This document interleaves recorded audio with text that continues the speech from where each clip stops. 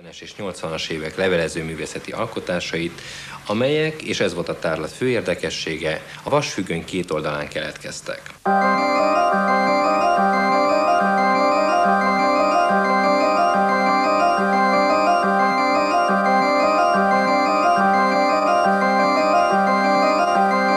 Valamikor a 60-as évek elején volt egy Ray Johnson nevű amerikai művész, aki hát többek között a Cage óráit is hallgatta, a többi művésszel, akik aztán fluxus művészek lettek, és akik szintén a levelezést fontos tevékenységnek tartották, de úgy egyébként általában az volt a felfogásuk, hogy minden művészet lehet.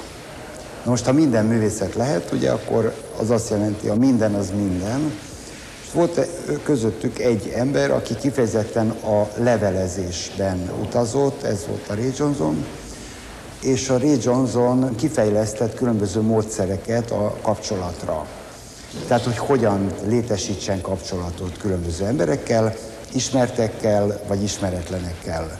Azok, amik így a Mélárd körében említésre méltó esetei voltak, ezek a félkész levelek vagy félkész rajzok, amikből itt most nem látható sajnos egy sem, de tavaly volt az ENSZ Múzeumban egy nagy kiállítás ilyen ö, munkákból, és ö, ezek a félkész rajzok voltak azok, amelyek aztán így cirkuláltak, ugyanis különböző kéréseket írt rá erre a levélre Johnson, többek között azt, hogy küld el XY-nak, és akkor így tulajdonképpen elindult egy ilyen hálózatos tevékenység.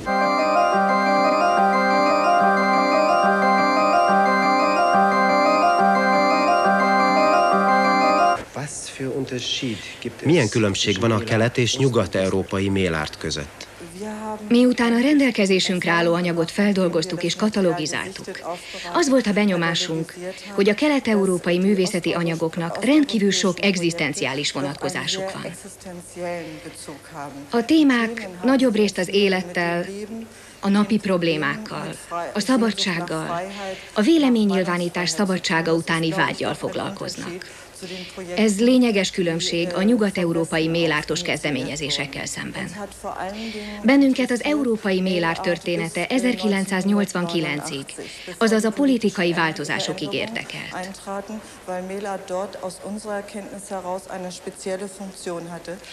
Kelet-Európában a mélártnak speciális funkciója is volt, hiszen a levélen, a levelezésen keresztül kelet és nyugat között nem hivatalos információkat lehetett cserélni Ez a tény is erősítette a mélárt jelentőségét a szemünkben. A Sverini Múzeumban tartott Mélárt konferencia végkövetkeztetése az volt, hogy a Mélárt egyrészt alternatív kommunikációs forma, másrészt a hivatalos, államilag dotált múzeumi művészettel szemben alternatív művészeti önkifejezési forma. A mi érdeklődésünket a téma iránt egyébként egy olyan katalógus keltette fel, amely a volt NDK Mélártos művészeti kezdeményezéseivel foglalkozik. Olyan művészeti akciótárgyak fotói voltak benne dokumentálva, amelyek amelyek közül jó néhány itt a kiállításon is látható. Mindenek előtt Robert Réfeld számít az NDK Mélát, mondjuk így alapítójának. Ő különösen sokat fáradozott Nyugat- és Kelet-Európa hálózatszerű összekapcsolásán, és különösen sokat tett a kelet-európai országok közötti kapcsolat megteremtéséért. Fontos még azt is megemlíteni, hogy a mélárt, vagy levelező művészet nem csak művészeket enged be a levelezés folyamatába. Ez alapelv volt a működés működésben. Például Berger Jess, akitől itt a kiállításon is láthatóak pacifista politikus levéltárgyak. Ő is autodidakta, nem hivatásos művész. NDK-ban különösen sok volt a Méládban az úgynevezett autodidakta művész, mert elsősorban nem az állami rang volt a fontos, hanem az, hogy kibeszélhessenek dolgokat, amelyeket hivatalosan nem lehetett. Mint tudjuk, az NDK-ban az evangélikus egyház kötötte össze az alternatív erőket. Innen indult ki rendkívül sok mélártos kezdeményezés is és tulajdonképpen a templom volt az egyetlen hely a diktatúrában, ahol mélártos kiállításokat lehetett rendezni.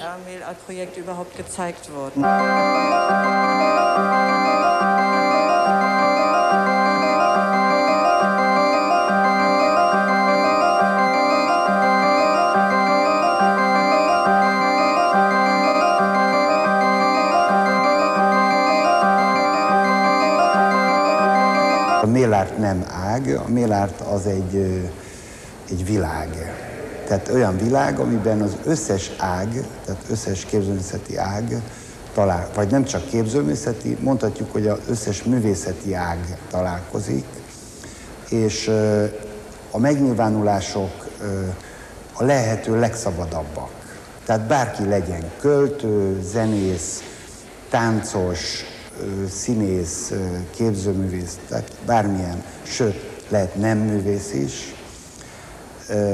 Tulajdonképpen mindenki nem művész. Ami a Mélártban megjelenik, tehát ami személyes, individuális, és, és nem eladásra készült műben, tehát kreációban megjelenik, az egy olyan információ, ami több, sokkal több az egy személyes levélnél, amit két barátnő ír egymásnak, és, és sokkal kevesebb mondjuk egy olyan reprezentatív műnél, amitről mi azt gondoljuk, hogy az a művészet.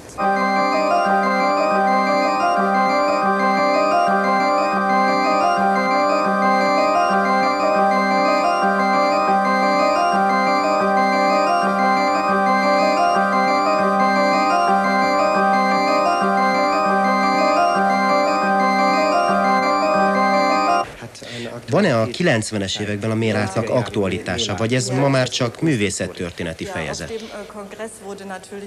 Ezt a kérdést többen is feltették a Mélártról rendezett Sverini konferencián.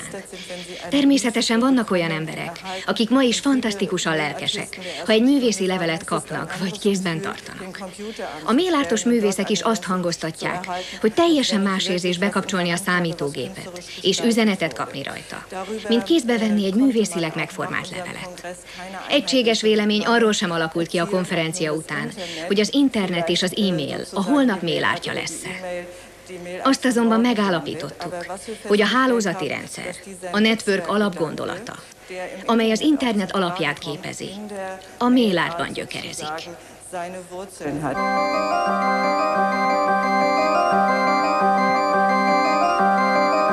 Elkezdem a valamit, amit gondolok, és már félkészen is fölrakom a, a lapomat, és hogyha már megvan a hálózatom, mert ki kell, ugyanúgy ki kell építeni a hálózatomat, tehát meg kell az embereket találnom a kapcsolatot, ők is keresik, én is keresem, és ha megvan ez a hálózat, akkor pillanatok alatt, aki tudja folytatni, az folytatja. Tehát ez a könyv, ugye folytasd a könyvet, és értesít e-mailen engem, hogy ő már csinált egy olyat, ami nekem illik az én szóval folytat engem, és akkor már is oda bekapcsolom. Tehát tulajdonképpen egy ebből a dologból, ami most itt nem nagyon látszik, de a weben, az interneten már látszik, hogy egy olyan együttműködés, tehát olyan világ együttműködés keletkezhet különböző témákban, ami eddig az emberiség történetében még nem volt.